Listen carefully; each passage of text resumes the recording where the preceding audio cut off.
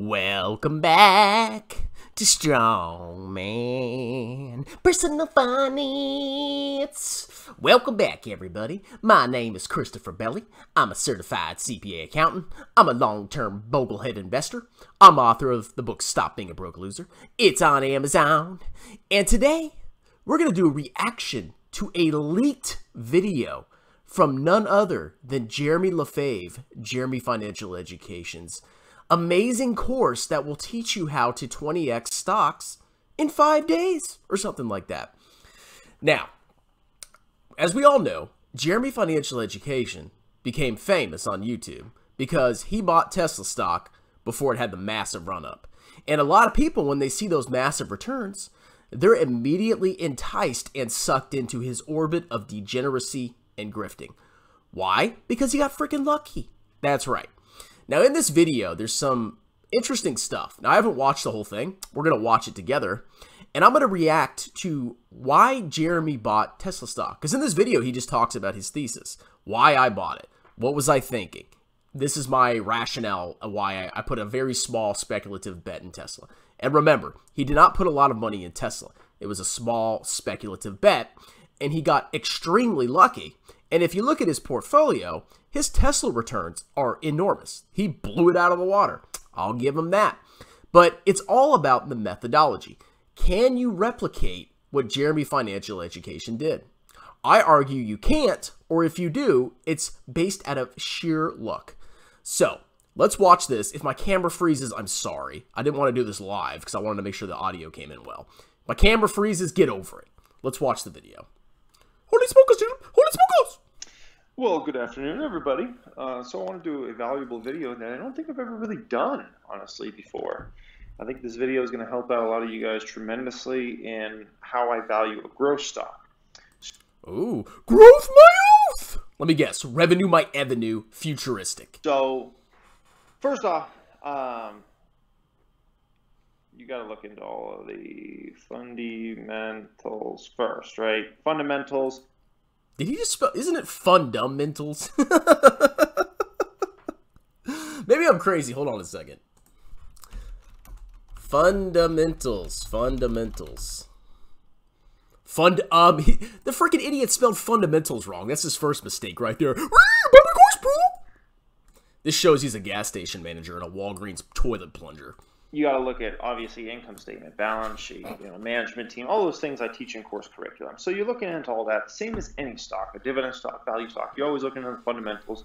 What's going on with the business model? Do you believe in the business model? Do you think it's going to trend, you know, positively over the coming years? Do you think it's likely the company's going to grow? Uh, do you think it? Hmm. He's looking at the fundamentals. That's interesting because a lot of the stocks that he bought, I don't see the fundamentals, and I'm trained to look at financial statements. I have certifications, actual professional certifications. And when I look at some of his stupid freaking stocks that he buys, it makes no sense. What fundamentals, dork? Fundamentals. It's pretty unlikely the company's going to shrink. What's your risk reward? All those sorts of things. You know, everything I cover, right? But then you get to this decision where you're looking at a stock and it's a certain valuation. You have to decide is it worth buying the stock or selling the stock? And this is why teaching growth stock investing is the hardest thing I've always had to do, essentially. It's pretty easy. I don't want to say easy, but it's not a problem for me to really teach value investing stocks, looking for this type of forward P and those sorts of things. But what about the company that has huge potential future growth, but they're forward PE? So basically, you're just guessing. You, you go and look at an analyst guess guess of what the earnings are in the future. Now, go look at anim, anim, analyst estimates on websites like what's that freaking website called? There's tons of websites where analysts look at uh or they, they they give their estimates and stock price targets. They're a joke. So by using forward PE, you're just relying on a bunch of freaking clowns. If you want to analyze a value stock, you actually need to do some kind of model. Plug your assumptions into a model like everything money does or my crappy little Excel model. That at least gives you a snapshot of what the company's worth. But by just looking at forward PE, I mean, what, what are you doing? You're just relying on some freaking clown with a bachelor's in finance because, you know, accounting was too hard to tell you where a company's earnings are going to be. And guess what? Nobody knows the future. They're unprofitable right now. Things like that. It's tough. Okay, so let me give you an example of a company, uh, Tesla, right? Tesla. So here's how I thought about this one, valuation wise, why I decided to make that decision to buy that. So when I bought Tesla, I think it was roughly around a $40 billion market cap. Could have been a little less, could have been a little more, around 40 billion. So how do I come up with a judgment that this company that was losing money when I bought it is worth buying? At $40 billion roughly. Like I said, it could have been a little lower, a little higher than that when I first started buying that stock. Now it's over, you know, well over 100 billion. It might have been 30 billion when I bought this company, but regardless, 30, 40 billion. So what I was looking at is I said, based upon everything I looked into this company and where I thought this was going over time, and it still has to play out over time, I think this company is going to have, worst case scenario, a 25% market share, if not a 50% market share of EVs in the future. What? 25 to 50% market share of EVs? Show me one company, one auto manufacturer that has even that close of dominance in any sector of any market. No. Tesla will never have between 25 and 50% of EVs. Now, you may say, strong man, they have that right now. Yes, because they're the first company to really mass market EVs. I mean, there's been some other ones, you know, but they, they weren't popular. Tesla really is the the vanguard, the leader of EVs. So right now, sure, maybe they have some kind of percentage in that range of EV market cap or EV uh, market dominance. But 5, 10, 15 years in the future, you think this one company is going to have between 25 and 50% of all EVs? This is ridiculous. It's stupid. Come on, little foo foo. And I believe that 100% or close to 100% of cars in the future uh, will be EVs. Okay, is that possible? Sure, but there's going to be a very, very long transition from internal combustion engines to EVs. How do I know this? Well, number one, EVs are expensive as crap, okay? Some companies are coming out with newer, cheaper models, which is great, but as of right now, what options do you have for EVs? They're all basically in the luxury auto market. The average family cannot afford an EV at this point in time.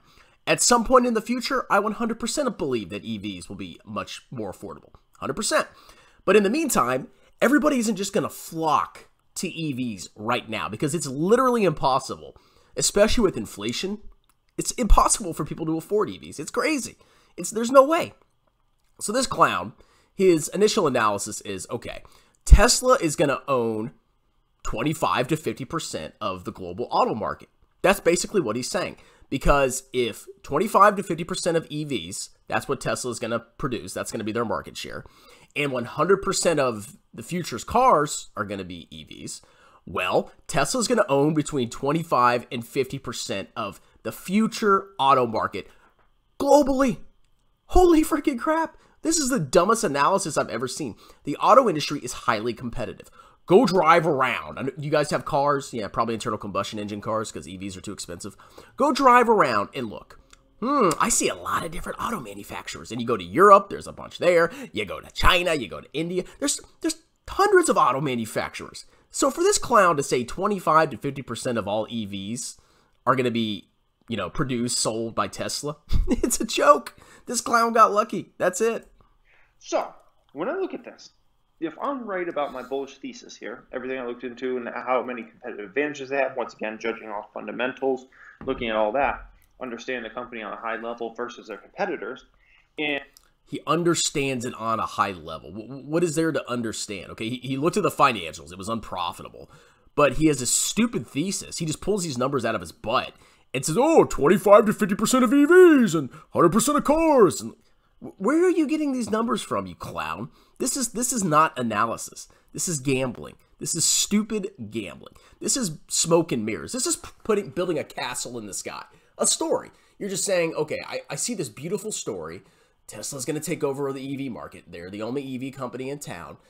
At some point, I hope, think, maybe, possibly, they're going to dominate the market. This is stupid. I'm looking at trends, and I believe we're going to be 100% EVs in, in terms of new car sales, maybe even within five to 10 years, at least in. In five to 10 years? No, No. It, that is a common sense, obvious, stupid message that he's telling you. 100% of all new cars sold in 5 to 10 years are going to be EVs. Not with the prices they are now. It takes a lot of time.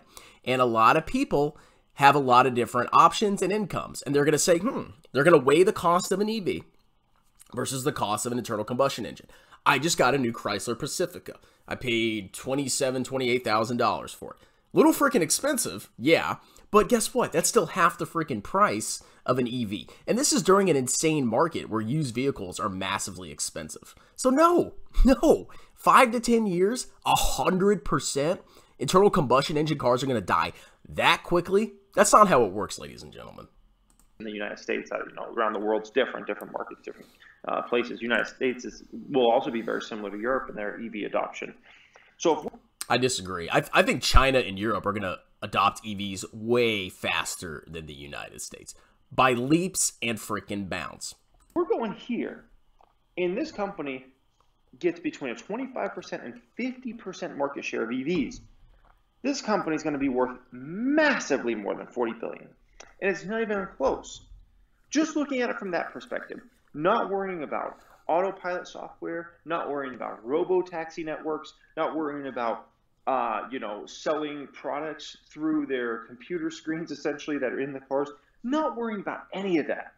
If just this, which I believe is going to happen, plays out, the company's going to be worth massively more than 30 to 40 billion dollars like where I bought this company at.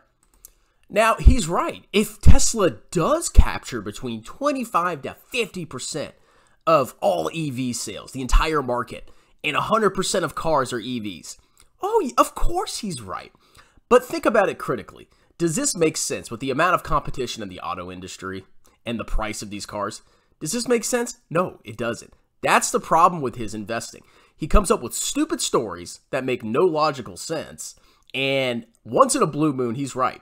But a lot of the times, he's wrong. Look at his investments Tattooed Trucker's Ball Sack, Honest My Bonest, uh, Beyond the Truck Stop, all of these stocks, he did the same analysis. What's Tattooed Chef's market cap now? Tattooed Chef is going to control between 30 and 40% of all vegan sales. And uh, Tattooed Chef is, or 100% of meals in the future are going to be vegan meals. That's probably all he did to make the decision to buy Tattooed Chef, ignoring the crappy gross margins, ignoring the slowing revenue growth. It's starting to slow down a little bit, and ignoring the fact that the food is extremely freaking expensive number one, and it's in a highly competitive industry. oh, and look what freaking happened. He got freaking wrecked. It's as simple as that.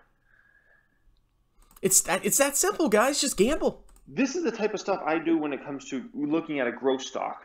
Um, if we think about something, so you know, just to cover Tesla once again, you know, you think about how many millions of cars, you know, 10 million to 20 million cars sold a year. You think about the average price of those cars, Tesla being able to be very profitable over time. It, you know, when they have a 25 to 50 percent market share, it's going to be you know a market capitalization at least in the hundreds of billions of dollars. As long as now 40 billion for Tesla is actually reasonable. Like right now, that's what it. I, I would say maybe I'll, I'll be nice and say 100 billion. It's a luxury auto manufacturer. They're going to peak out at some point. I don't care how profitable they are. At some point, they're going to peak out and they're not going to be able to grow their sales that much. And their price to sales, price to earnings ratio is going to massively decrease because the PE that they have right now is pricing in massive growth. But if there is no growth, people are not going to be willing to pay huge premiums for this stock. It's going to happen.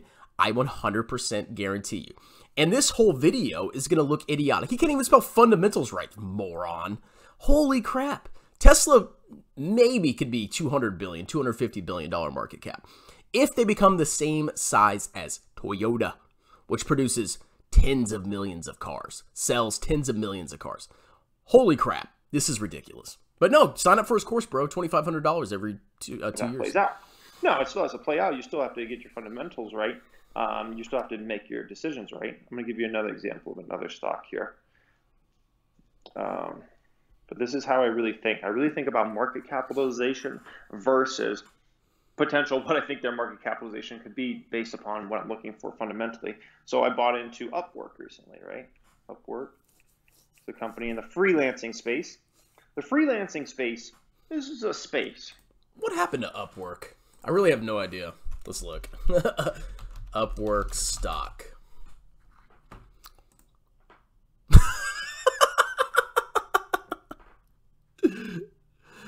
okay, so it's down 55% in the past year. So it had this massive. Okay. Wow. It, it started running up during the pandemic. Look at that. March 2020. Remember that, ladies and gentlemen? Lockdowns, stimmy checks, printing money. And it freaking exploded. I'm a genius, bro. And now it's getting freaking wrecked. And what fundamentals are there? Negative 17% profit margin. They have revenue by revenue growth. Guys, come on. This this is ridiculous. That hundreds of billions, okay? Hundreds of billions um, of basically transactions go through. So we have hundreds of billions of dollars of TAM opportunity, you know, 500 billion or some, you know, insane number of TAM for Upwork to go through. Upwork, when I bought it, was what, right around a billion dollar market cap, roughly, somewhere around there. It's going up too fast, unfortunately, so I haven't got to. It's going up too fast. I made such a great decision. Okay, so he basically two and a half x. Good for him. But is the story going to play out? Is he actually going? Hopefully, he sold the stock. Another example of him getting lucky.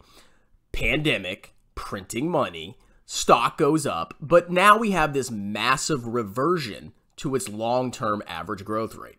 And looking at the fundamentals, a two second glance at the profit margin. I'm not confident about this company's future. Negative 17% profit margin?